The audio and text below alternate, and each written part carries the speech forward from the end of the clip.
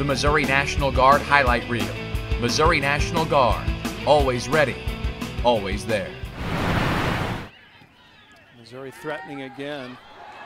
And on the breakaway, the goal is scored by number nine, Kaysie Clark.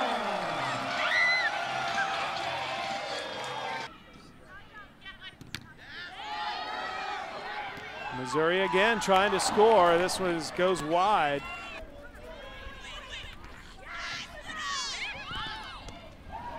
Good stop by Sauerwein as that shot was taken with authority.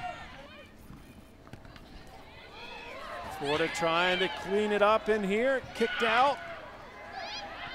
And Missouri has just been so solid in the box. It goes over the goal. Shot taken by Salon. Speese with the corner kick.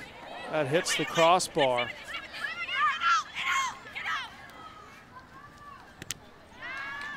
And Missouri escapes another scoring opportunity by the Gators.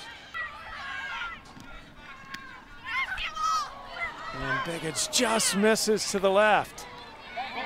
Oh, another opportunity by the Gators. 10 seconds left.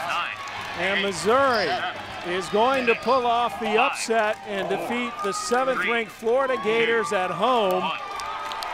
And they survive 1 0.